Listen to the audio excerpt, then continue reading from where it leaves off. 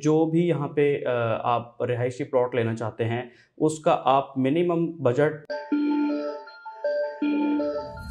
अस्सलाम वालेकुम, मैं हूँ मुजम्मिल खान और आप मुझे मकान शॉप के यूट्यूब चैनल के ऊपर देख रहे हैं। जैसे कि आपको पता है कि मकान शॉप आपके लिए प्रॉपर्टी से जुड़ी तमाम तर तफसीलात जो है वो वीडियो में लेकर आता है, जिसको देखने के बाद आप अपनी प्रॉपर्टी को बाय और सेल करने में कोई भी डिसीज़न लेते हैं। इसी तरह हम आपके लिए बेटर अपॉर्चुनिटी इन्वेस्टमेंट आप लोगों के लिए कौन सी है, इसके ऊपर भी डिफरेंट सोसाइटी रिव्यूज़ करते हैं वीडियोस बनाते हैं, ताकि आप सही जगह पे, सही टाइम पे इन्वेस्ट कर सकें।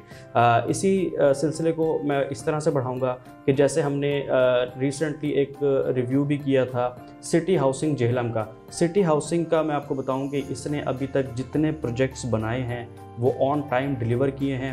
अच्छा प्रॉफिट सोसाइटी ने अर्न किया है अच्छा प्रॉफिट जो है उसके, उस सोसाइटी में इन्वेस्ट करने वालों ने अर्न किया है। अभी तक हम देखते हैं कि सिटी हाउसिंग गुजरावाला है जेहलम है, सियालकोट है, मुल्तान में अब स्टार्ट है।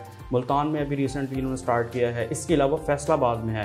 आज की जो मैं वीडियो बना रहा हूँ, वो फैसलाबाद पे बना रहा हूँ। फैसलाबाद में सिटी हाउसिंग जिस तरह से काम उसने किया है, जिस तरह से डिलीवर किया है, जिस तरह वहाँ पे जो फैमिलीज़ हैं वो रह रही हैं इसको देख के साफ़ लगता है कि ये एक बहुत अच्छा हाउसिंग प्रोजेक्ट है। इसमें आप राइट टाइम पे इन्वेस्ट कर सकते हैं। इसके अलावा आप फैमिली के साथ वहाँ पे मूव हो सकते हैं, रह सकते हैं और एक लग्जरी लाइफ जो है उसको एंजॉय कर सकते हैं। उसकी बड़ी वजह यह है कि सिटी हाउसिंग में हम देखते हैं कि बहरिया टाउन डीएचए वगैरह इस तरह की कोई भी सोसाइटी अवेलेबल नहीं है। इसीलिए लोगों का जो रुझान है जो शहर है वो अच्छा खासा बढ़ चुका है और यही वजह है कि जो सिटी हाउसिंग फैसलाबाद है, वो समंदरी रोड के ऊपर वाक़ है। मोटरवे से आपको तकरीबन चंद मिनट्स की दूरी पे है।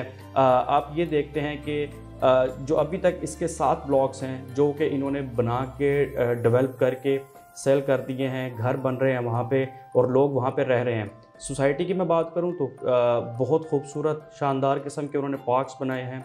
मेडिकल के लिए भी जगह को मुख्त कर दिया गया है। रोड बहुत अच्छे उन्होंने खुले रोड बनाए हैं। इसके अलावा सर्विस रोड वगैरह बहुत अच्छे बनाए हैं।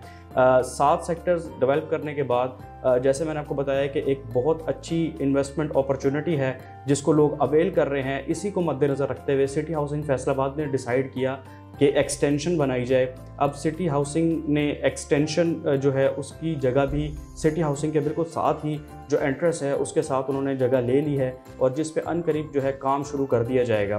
तो ये आप लोगों के लिए एक बेस्ट अपॉर्चुनिटी है टू इन्वेस्ट कि आप अपनी जो इन्वेस्टमेंट है, वो सिटी हाउसिंग में करें और कुछ ही टाइम में आप उसको अच्छा प्रॉफिट उससे अर्न करें। यहाँ पे अब हम बात करते हैं प्लॉट्स की कि कितने मरले के प्लॉट्स अवेलेबल हैं। पाँच मरला, दस मरला कनाल, दो कनाल के जो रिहायशी प्लॉट्स हैं, वो अवेलेबल हैं। घर भी यहाँ पे फॉर सेल के लिए अवेलेबल होते हैं। और इसके अलावा कमर्शियल की मैं बात करूँ तो चार मरला, पाँच मरला और दस मरला के यहाँ पे कमर्शियल प्लॉट्स भी अवेलेबल हैं। और बात करते हैं इनके प्राइसेस की तो यहाँ पे मैं आपको ये बताता चलूँ कि जो भी यहाँ पे आप रिहायशी प्लॉट लेना चाहते हैं, उसका आप मिनिमम बजट आठ लाख मरला और मैक्सिमम दस लाख मरला आप माइंड में रखें कि आपने अगर कनाल का प्लॉट लेना है तो आप बीस मरले का हिसाब जो है वो आप आठ लाख या नौ लाख से उसको मल्टीप्लाई कर सकते हैं। तो यहाँ पे फ़ी मरला तकरीबन एक एस्टिमेट बता रहा हूँ, नौ लाख रुपए का यहाँ पे आपको फ़ी मरला प्लॉट के हिसाब से आपको ज़मीन जो है वो मिल जाएगी।